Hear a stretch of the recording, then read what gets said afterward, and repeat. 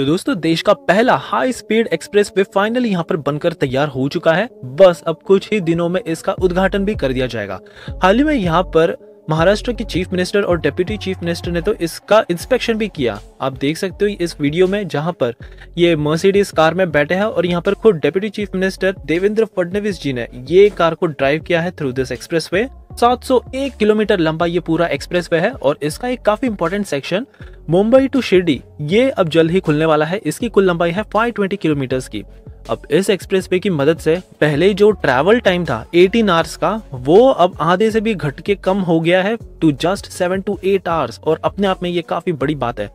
Cost मैं आपको बताऊँ तो इस एक्सप्रेस के लिए 55,000 करोड़ रुपीस से भी ज़्यादा पैसे खर्च किए गए हैं।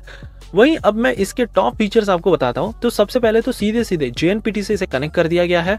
फिर 150 किलोमीटर प्रति घंटे की रफ्तार से गाड़ियाँ यहाँ पर दौड़ सकती है। और भारत में पहली बार ऐसा हो रहा है कि ऐसा एक्सप्रेस वे बनाया गया है इतनी हाई स्पीड को सपोर्ट कर सकता है। लेकिन यहाँ पर 120 ट्वेंटी रखा जाएगा टॉप स्पीड सेफ्टी के लिहाज से। फिर इंटरनेशनल स्टैंडर्ड जितने भी मापदंड थे, सब इसमें डाले गए हैं with 120 metre wide eight lanes डाले गए हैं फोर ऑन ईच साइड और मान लीजिए अगर फ्यूचर में ट्रैफ़िक यहाँ पर बढ़ भी जाए तो फिर हम आसानी से एक्स्ट्रा लेन इसमें ऐड भी कर सकते हैं।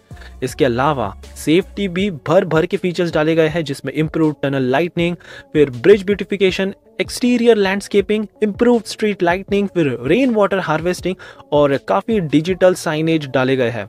क्वालिटी भी यहाँ पर इतनी ज़्यादा उम्दा है कि मान लीजिए अगर कोई आपातकालीन स्थिति आ जाती है फाइटर प्लेन भी यहाँ पर लैंड कर सकते हैं। करेंटली सेफ्टी को ध्यान रखते हुए यहाँ पर 15 एंबुलेंस 15 रैपिड रिस्पांस व्हीकल और 13 पेट्रोल व्हीकल्स डिप्लॉय कर दिए गए हैं जो कि इमरजेंसी हेल्प के लिए हमेशा उपलब्ध रहेंगे। सो so, कुछ ही दिनों का इंतज़ार है। 11 दिसंबर को ये प्राइम मिनिस्टर नरेंद्र मोदी जी द्वारा उद्घाटन इनाग्रेट भी कर दिया जाएगा। इस एक्सप्रेस के बारे में वैसे आपकी क्या राय है? डेफिनेटली कमेंट्स में बताइएगा।